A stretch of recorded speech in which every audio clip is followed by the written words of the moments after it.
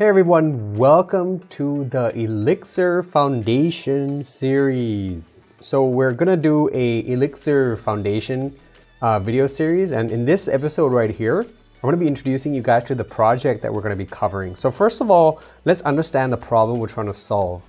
Um, you know, I feel that Elixir is an extremely powerful programming language and um, you know it's it is really the language of the future in terms of if you're doing web development or actually development of any kind. There's a lot of thought uh, put into it. And uh, basically i've been using it for about a year now um, to build the, the, the codemy site and the platform running codemy.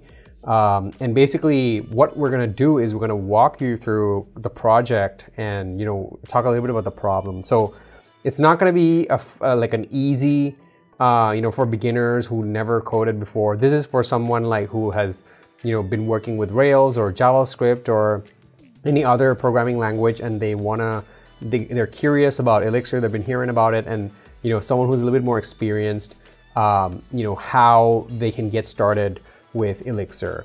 Uh, we're gonna make it as simple as possible but you know there's a lot of concepts in elixir that is you know quite a big change in terms of the mindset if you're coming from object-oriented programming languages like Ruby or um, you know if you're if you've done something with Node.js before in terms of concurrency there's a lot of differences from um, how Node does it and how Ruby does it. Um, you know one of the fact about Elixir is it supports multi-cores like right out of the box. So you don't have if you just write uh, your code based on the conventions and the tools that are provided by the Elixir programming language, your code will be automatically, uh, you know, run on all cores uh, because it's supported.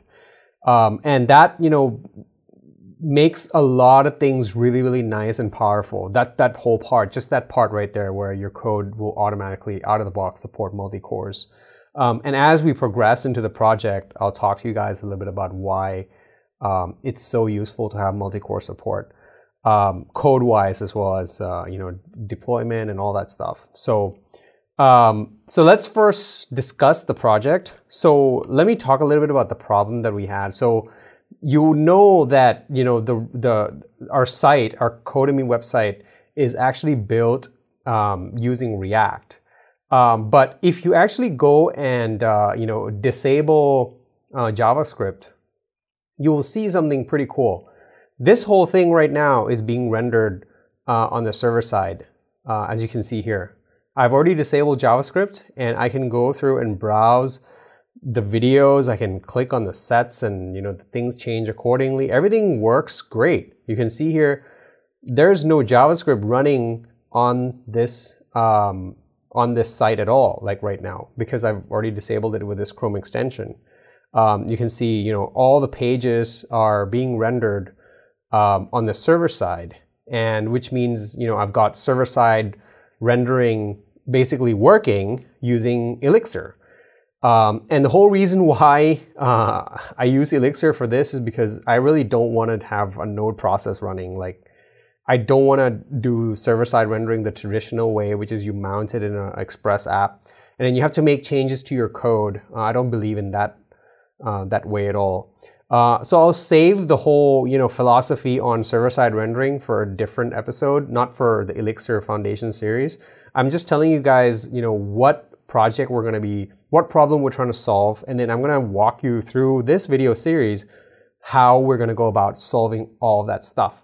Um, so let's go over the code a little bit. So this is a plug, uh, using a plug router to kind of like um, route the request and uh, you know, there's a few things in here um, that make it a really good foundational project. It's there's a lot of problems that once you break it down, um, forces you to dig into the really uh, the concepts behind Elixir, like for example, GenServer. Yeah, we're going to cover GenServer. So we're not just going to cover like the syntax differences.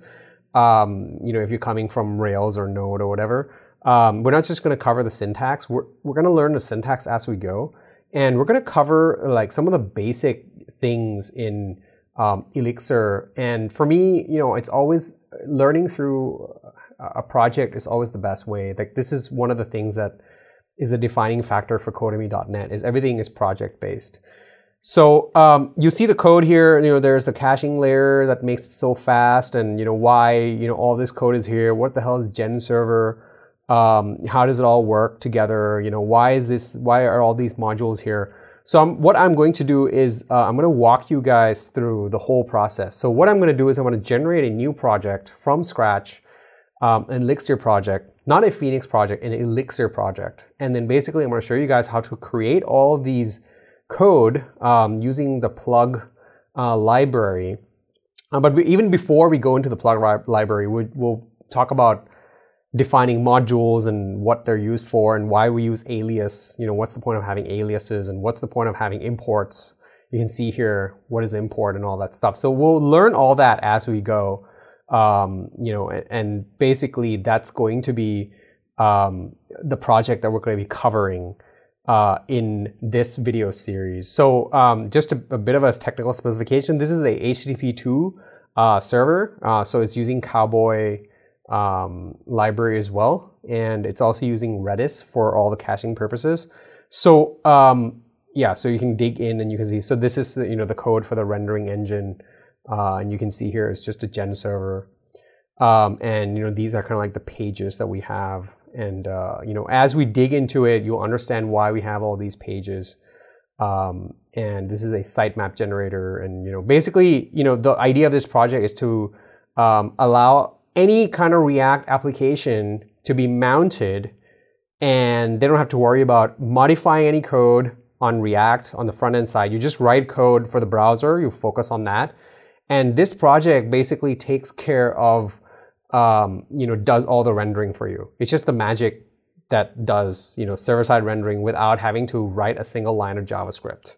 So um, there's a few advantages, but I'll talk about that in a different video episode uh, probably in the lab report that's going to be coming up uh, that I'm going to be recording pretty soon. So um, I'm going to wrap up this episode. You know, now you kind of like when you're browsing through the website, uh, you know, try disabling JavaScript and try clicking through.